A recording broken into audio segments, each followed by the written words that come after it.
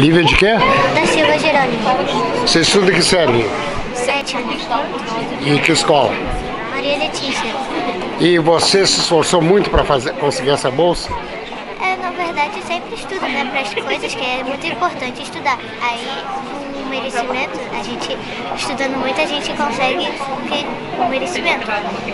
É a primeira vez que você recebe? Não, A segunda? Ih, então vai receber agora o tempo todo. Eu quero? Vai se esforçar. Sim. E qual é a importância dessa bolsa para você? Ah, isso ajuda eu a comprar as minhas coisas para poder estudar e também ajuda nas coisas que eu posso fazer para mim, né? E tu pretende ser o quê? Na verdade, eu não sei. Ou é médico ou engenheiro. Médico ou engenheiro? Então vai voltar para cá, para a universidade, né? Não sei. Essa aqui. Você é a mãe? Não, sou tia dela. A tia? Orgulhosa? Sim, ela é uma graça.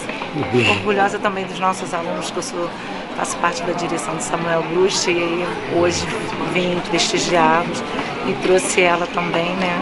Porque em nossa Piquituta é a segunda vez, é muito legal, né? Gordo. É o segundo que eu encontro aqui, que é a segunda vez que São ganha. 51 crianças contempladas pela segunda vez. Qual é a importância de você como professora e como tia de uma menina que conseguiu a bolsa, esse projeto? Ah, Eu acredito no incentivo, né? Infelizmente existe assim uma evasão escolar muito grande.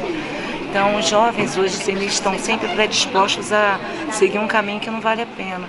Então quando você incentiva, né, dentro da educação, mesmo que seja com valores, eu acho super positivo, porque lá na escola as crianças começaram a querer participar, a querer ganhar a bolsa, a querer estudar mais. E isso é muito positivo. A gente está muito feliz.